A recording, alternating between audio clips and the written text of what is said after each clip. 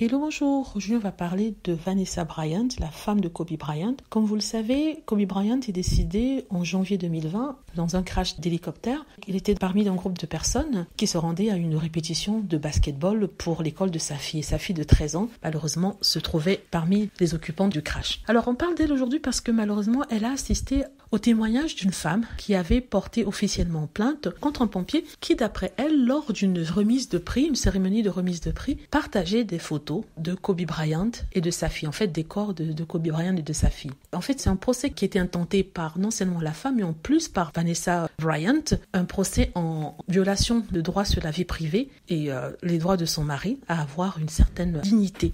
Elle a entendu les témoignages de cette femme et s'est mise à pleurer. En fait, ce qui se passait, c'est que ce pompier qui était sur les lieux du drame a pris des photos sur son téléphone de Kobe Bryant et de sa fille, de leur corps, et il partageait ça avec tout le monde. Donc il s'est rendu à une cérémonie quelques jours plus tard et pour impressionner les gens qui étaient dans la salle, il a dit qu'il était pompier, il a expliqué ce qui s'était passé, comment il euh, avait été l'une des premières personnes sur les lieux de, de l'accident. Et pour les impressionner, il a sorti son téléphone dans lequel il y avait des photos de Kobe Bryant. C'est quelque chose d'horrible hein, parce que comment peut-on faire ça à un être humain? Parce que même dans la mort, on lui enlève sa dignité. Ce monsieur qui est censé aider les personnes souffrantes, les personnes vulnérables, a dans ce moment d'horreur totale eu le culot de sortir son téléphone et de prendre une photo de ce jeune homme. Il n'avait que 41 ans et de sa fille de 13 ans. Ça, c'est quelque chose de dégoûtant. C'est quelque chose d'horrible. Parce que les pompiers sont censés être aux côtés des, populations, avoir un peu de compassion. Et je sais pas, moi, je sais pas quoi dire, mais c'est terrible. Il faut pas, c'est vrai qu'il faut pas généraliser. Ce ne sont pas tous les pompiers qui font ça, mais le comportement de celui-ci en particulier est quand même euh, déroutant. Et on se demande si c'est ce genre de choses qui se passent sur d'autres scènes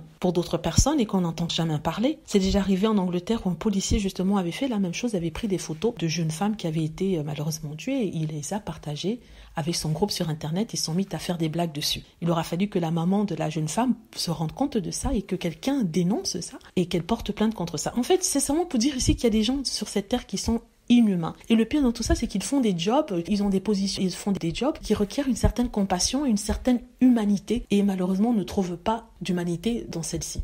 En tout cas, ils sont dans ces jobs pour des mauvaises raisons. Voilà, je voulais partager ça avec vous. Il a été dit qu'elle a pleuré en écoutant le témoignage de cette femme. Elle a pleuré pour son mari, elle a pleuré pour sa fille et pour la façon dont ils avaient été humiliés, même s'ils ne sont plus vivants, ils avaient été euh, déshonorés. Voilà, dites-moi ce que vous en pensez. J'espère que vous avez aimé la vidéo. N'hésitez pas à cliquer sur like si c'est le cas, à vous abonner pour plus de vidéos et à cliquer sur la petite cloche afin d'être averti lorsque je poste une nouvelle vidéo. Merci.